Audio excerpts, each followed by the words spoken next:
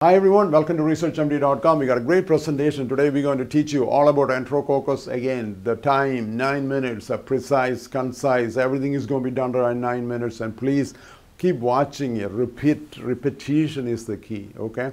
So we have concised uh, all the facts into this nine minute presentation. Again, my name is Pramil Cheriyath. I'm a program director, internal medicine residency, transitional residency. I teach medical students and medical residents also director of research. So let's look at it. When you talk about uh, enterococci, it's a gram-positive cocci in chairs and or short chains, non-sporing, and facultative anaerobes ferment glucose to form lactic acid. It's commensals in GI, GU, and oral cavity. Remember that. It's a commensal GI, gastrointestinal, gastro, I mean genitourinary, and oral cavity, and it can cause nosocomial infection. At least 12 different species are disease causing. Enterococcus fecalis, 95%. Enterococcus faecium, 4% of the rest can grow in extremes of temperature 10 to 45 degrees centigrade, minus 10 actually to 45 degree, pH 4.5 to 9.9, up to 6% of uh, NaCl and 40% bile can grow. That's why it's in the GI system. It's catalase negative. So some brief facts about, um, and the epidemiology, if you, look, look at it, is the second most common cause of all nosocomial infection, that is enterococci, okay?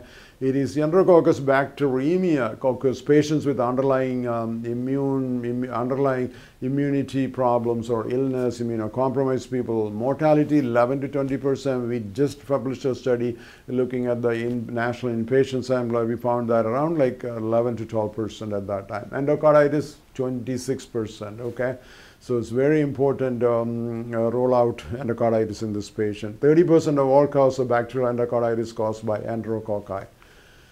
So if you look at the pathophysiology on how does the I mean virulence factor, you got surface polysaccharide which prevents the phagocytosis, aggregation factor, adhesion factors that causes adhesion to the host cells, and fissure invading the resistance to non-specific defensive mechanism.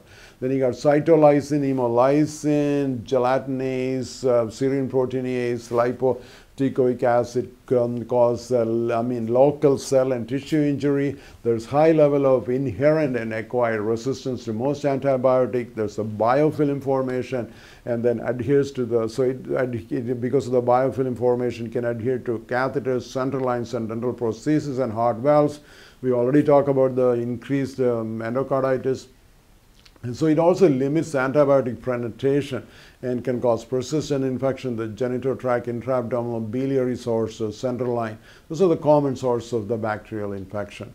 So clinical infection, we talk about mainly G, I mean, you know, GU, genitourinary, like UTI, it can cause bacteremia, it can affect uh, GI system, bacterial endocarditis, diverticulitis, meningitis, spontaneous bacterial peritonitis um, in the patient with hepatic cirrhosis, and can cause like sepsis, so when you talk about the, let's talk about the enterococci and the drug resistance. Okay, there is two types. What is the intrinsic resistant and then the acquired resistance. When you talk about the intrinsic resistance, there's cephalosporin, semi-synthetic penicillin, and low level of aminoglycoside and low levels of clindamycin. Okay, when you talk about acquired resistance, then we have you know, the penicillin, ampicillin, high dose of aminoglycoside, fluoroquinolone, chloramphenicol, erythromycin, tetracycline, vancomycin and some resistant to newer agents like the um, quinupristin, dalfopristin, daptomycin, and tigecycline, okay?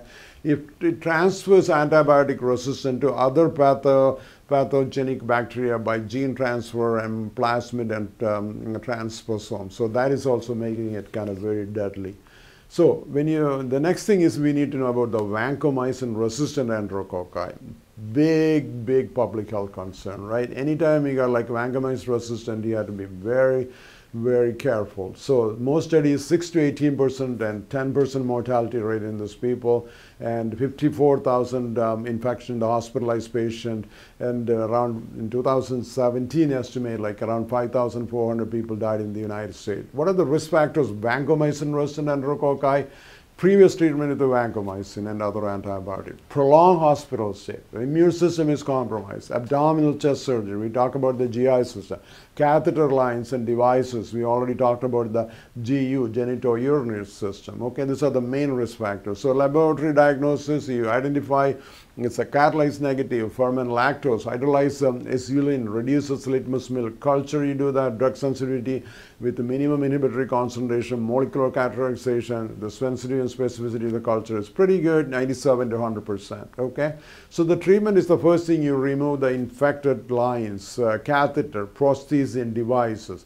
In un uncomplicated UTI, UTI, you can see nitrofurantoin, but VRE UTI, you have to give daptomycin and fosfomycin, okay? So prosthetic valve, we can give ampicillin, vancomycin plus aminoglycoside for six weeks. If it is native valve endocarditis, ampicillin, vancomycin, aminoglycoside four weeks, and six weeks if symptoms is greater than um, three months. So in meningitis, IV linezolid or IV plus intravesical, intrathecal quinupristin and dalfopristin is there. Resistant to ampicillin, you give vancomycin. In the VRE treatment, you give linezolid, daptomycin, tigecycline, quinupristin, and dalfopristin. So VRE treatment is vancomycin resistant, try linezolid, daptomycin, tigecycline, quinupristin, and dalfacin. Okay. Prevention and rushing aseptic precaution is very important. Thank you so much for watching. We'll be back with another presentation soon. Thank you.